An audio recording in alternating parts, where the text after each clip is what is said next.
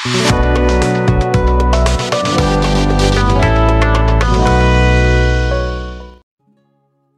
selamat pagi jemaat Tuhan.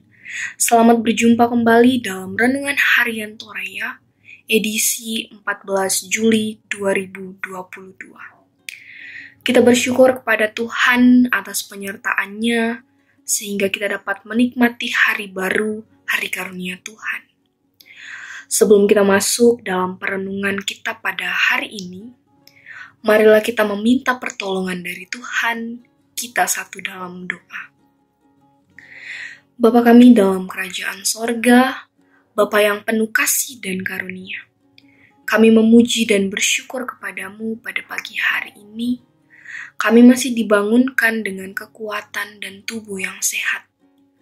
Tuhan, saat ini kami akan mendengarkan firman-Mu. Berilah pengetahuan dan bimbinglah kami, agar apa yang Engkau firmankan dapat bekerja sesuai kehendak-Mu. Bukalah hati dan pikiran kami untuk mendengar dan menerima firman-Mu. Kiranya firman-Mu ini bukan hanya menjadi berkat bagi kami, melainkan juga dapat menjadi berkat bagi sesama kami. Berbicaralah Tuhan, kami sudah siap menerima firman-Mu. Dalam nama Tuhan Yesus Kristus, kami berdoa dan mengucap syukur. Amin.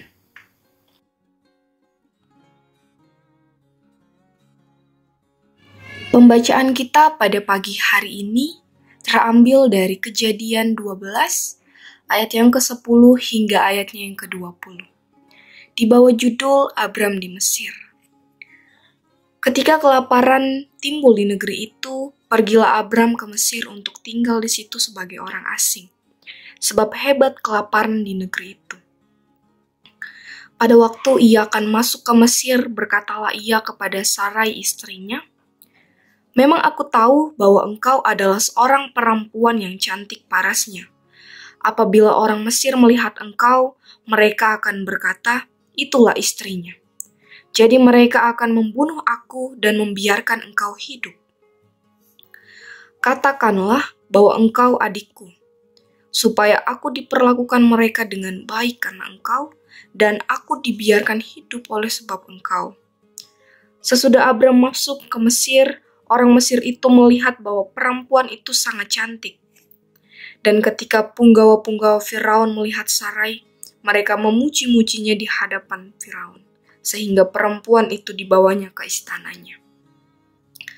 Firaun menyambut Abram dengan baik-baik karena ia mengingini perempuan itu, dan Abram mendapat kambing domba, lembu sapi, keledai jantan, budak laki-laki dan perempuan, keledai betina dan unta. Tetapi Tuhan menimpahkan tula yang hebat kepada Firaun. Demikian juga kepada istananya karena Sarai istri Abram itu.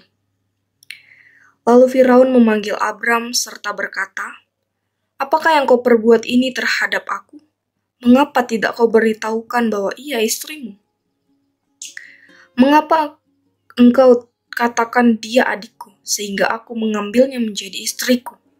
Sekarang, inilah istrimu, ambillah dan pergilah.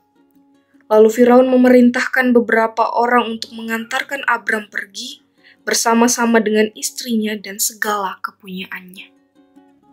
Amin firman Tuhan. Tema perenungan kita pada pagi hari ini yaitu campur tangan Tuhan. Dalam bahasa Toraja, Diona Pak Tunduana Puang. Kekhawatiran dan kebingungan sering kali mengiring seseorang pada keputusan yang keliru. Abram mengalami hal ini ketika berhadapan dengan Firaun. Kekhawatiran Abram yang berlebihan membuat Tuhan marah kepada Firaun, bukan pada Abram. Sehingga dampak dari egoisme Abram mengakibatkan Firaun ditulah dengan seisi istananya. Abram lupa pada janji Allah sebelumnya, yaitu Aku akan memberkati orang-orang yang memberkati engkau dan mengutuk orang-orang yang mengutuk engkau dan olehmu semua kaum di muka bumi akan mendapat berkat. Kekhawatiran dan kebingungan Abram tidak terbukti sebab Firaun ternyata tidak membunuh Abram ketika tahu bahwa Sarah adalah istri Abram. Mengingkari hubungannya sebagai suami istri lantas tidak membuat Allah lupa pada janjinya. Janji Allah ya dan amin. Kendati manusia sering kali lalai. Kita terbiasa dihinggapi kekhawatiran berlebihan, kebingungan, ataupun berpikir buruk atas pergumulan dan masa depan kita. Yakinlah, kekhawatiran kita pun tidak meniadakan janji Tuhan atas orang yang dipilihnya. Tujuan Allah yang hendak menjadikan Abram sebagai saluran anugerah tetap dilanjutkan dan dijaga olehnya.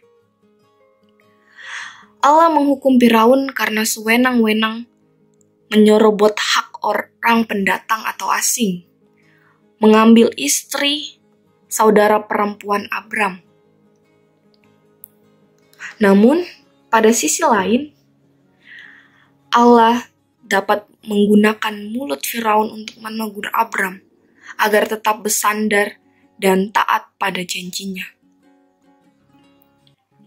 Kiranya Roh Kudus menuntun kita mengambil langkah, tindakan, dan keputusan hanya menurut kehendak hati Tuhan. Amin. Firman Tuhan. Jemaat yang sama-sama dikasihi oleh Tuhan, mari kita satu di dalam doa, kita berdoa. Terima kasih Tuhan atas firman-Mu yang Engkau telah berikan pada kami pada hari ini. Kiranya apa yang Engkau firmankan bisa kami tanam di hati kami masing-masing. Tuhan, Engkau senantiasa kuatkan kami untuk melakukan apa yang Engkau firmankan sesuai dengan kehendak-Mu. Biarlah perkataanmu menyegarkan jiwa kami, menghidupkan hati yang lemah lesu, dan membangkitkan harapan dan kasih. Berkatilah kehidupan kami, agar kami tetap senantiasa berkesempatan mendengarkan firman-Mu kembali. Engkau memberkati jemaatmu di setiap saat, tempat, dan kondisi hidup mereka, agar senantiasa selalu merindukan dan membutuhkan firman-Mu sebagai pelita kebenaran yang memerdekakan dan penghiburan yang menguatkan. Kiranya Tuhan menjaga dan memelihara kami dalam menjalani aktivitas kami pada hari ini agar senantiasa tetap memuji dan memuliakan akan namamu. Ajarilah kami bahasa firman-Mu dan bimbinglah kami untuk selalu hidup sesuai dengan kehendak-Mu, agar kami hanya dekat kepadamu Tuhan. Inilah doa kami yang kami panjatkan kepadamu Tuhan. Dalam nama Tuhan Yesus kami berdoa dan mengucap syukur. Haleluya. Amin. Demikianlah renungan harian Toraya kita pada pagi hari ini. Sampai berjumpa kembali di kesempatan lain. Shalom dan selamat pagi. Tuhan Yesus memberkati kita semua.